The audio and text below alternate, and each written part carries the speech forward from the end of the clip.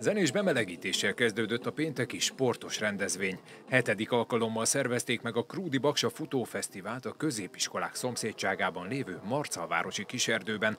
A fiatalok minden esztendőben az adott évszámnak megfelelő métert teljesítik a versenyen. Idén tehát 2023 méter várt a diákokra, akik rekordszámban összesen 937-en neveztek a megmérettetésre. 937 indulónk van, ami magasan túlszárnyalja a tavait, ami, akik szintén sokan voltak, mert 700-an, tehát azért ez már mennünket is meglepett. Nyolc iskolából jöttek hozzánk, tehát egyre népszerűbb.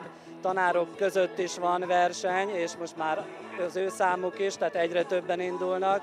A Krúdi iskola már 20 éve rendez hasonló eseményeket, duatlonnal kezdték, aztán átváltottak a futásra. Az intézmény számára továbbra is kiemelten fontos az egészségtudatos nevelés. Fontosnak tartjuk azt, hogy az egészségtudatos életmódra neveljünk, a tudatos mozgásra buzdítsuk a diákjainkat, és ezért nagyon sok sporteseményt szervezünk, és ez az egyik legnagyobb, amit így az ősz szeptember végén megtartunk. A Baksa Gimnázium igazgatója számára az idei Budapesti Atlétikai Világbajnokság hangulatát is túlszárnyalta az idei futófesztivál. A nyáron egy fantasztikus lehetőségem volt, részt vettem a atlétikai világbajnokság néhány napján, és azt gondoltam, hogy ilyen fantasztikus hangulat csak itt lehet tévedtem, mert én azt gondolom, hogy igazgatóként a saját iskolámban, a saját diákjaimat látni, hogy ilyen nagyon jó időben, ilyen sokan nekiállnak futni, sportolni, azt gondolom, hogy ez számunkra ez a legnagyobb és a legszuperebb pillanat. Három,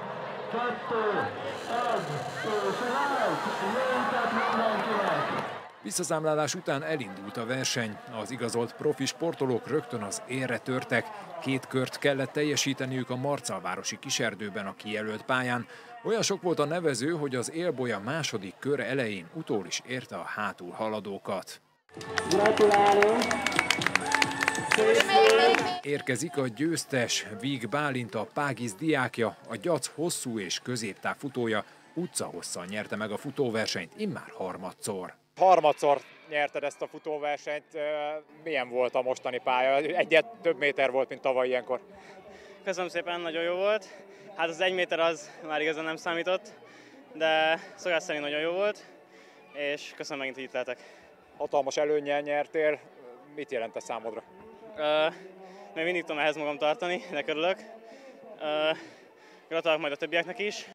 Ez pedig már az eredményhirdetés. A legjobbaknak járó érmeket és az önkormányzat által felajánlott díjakat Radnóti Ákos sportért is felelős alpolgármester adta át. Én is ugye ebbe az iskolába jártam, itt futottuk a köröket, valaki szerette, valaki nem szerette, de az a legjobb, hogy sportolni mindenképpen célszerű.